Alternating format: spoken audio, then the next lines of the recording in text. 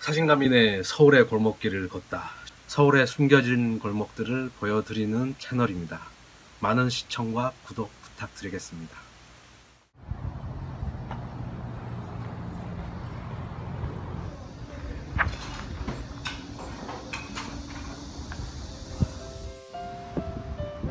안녕하세요. 사진가 민입니다. 서울의 골목길을 걷다 이번 편은 성수동 뚝도시장과 인건지역 골목길입니다.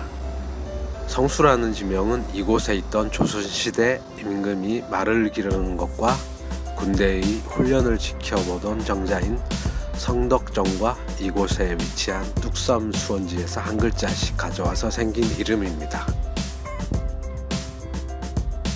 이곳이 한강을 끼고 있는 마을이라 한강물을 식수로 사용하는 깨끗하고 고마운 물이라는 뜻으로서 성수라고 불렸다고 전해지기도 하네요.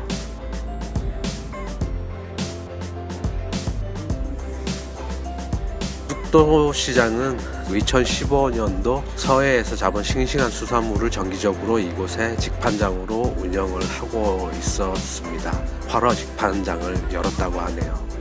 근데 최근에 뉴스 기사를 검색해 보니까 화로 시장은 썩 반응이 좋지 않았나 봅니다.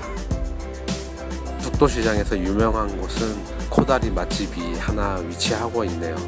백종원 3대 천왕에서 나왔던 그곳에는 아마 줄을 서서 먹는 가게인 것 같습니다.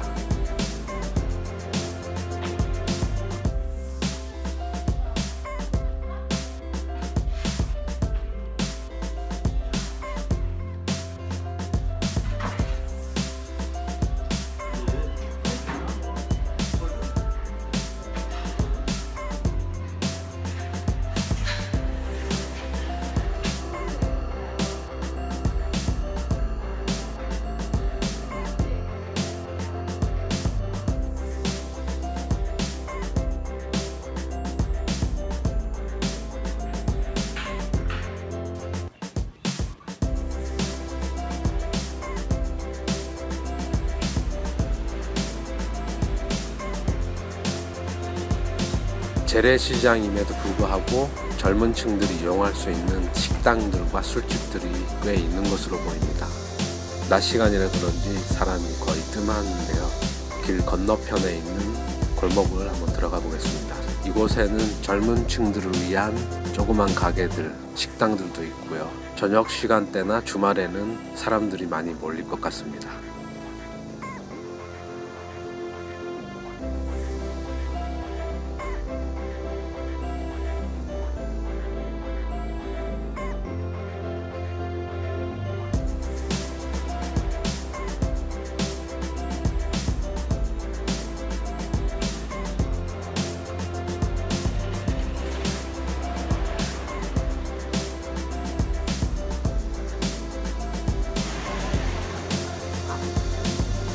창고형 카페들이 중간중간 있는데요.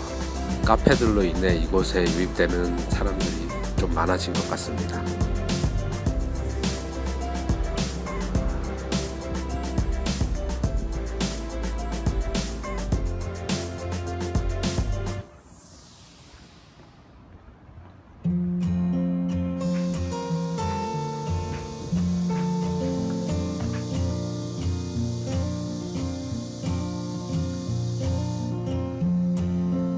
자 이제 뚝도시장을 빠져나와서 먹자골목이 있는 곳을 걸어보겠습니다. 이곳에서는 저렴하게 파는 식당들이 꽤 많았습니다. 보도블록 색깔들이 인상적이었는데요. 차량의 이동이 거의 없어서 걷기 좋은 길인 것 같습니다. 성수동은 최근 창고형 카페, 대림창고 할아버지 공장, 어반소스, 천상가옥 등과 블루보틀이 hot place로 인정을 받고 있습니다. 그 외에도 이색적인 식당과 가게들이 성수동 군데군데 분포를 하고 있고요. 한 군데에 밀집된 형태가 아니라서 군데군데 찾는 재미도 있을 것으로 생각이 되네요. 성수동 구석구석을 돌아다니다 보면은 인테리어가 독특한 건물들이 많기 때문에 사진 찍기에도 좋은 곳이라 생각이 됩니다.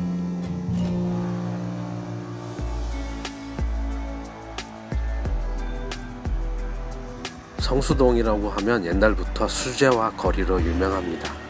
1970년대 이후부터 수제화 업체들은 서울에서 상대적으로 땅값이 저렴한 성수동에 하나 둘씩 모여들었고 수제화 산업이 자리 잡기 시작하였습니다. 현재는 350여 개가 넘는 수제화 완제품 업체와 100여 개의 중간 가공 원부자재 유통업체가 자리 잡고 있으며 한국 수제화 제조업의 70% 이상이 밀집되어 있는 곳입니다. 제가 현재 걷고 있는 이곳은 성수동 메인 거리에서는 조금 떨어진 곳이고요.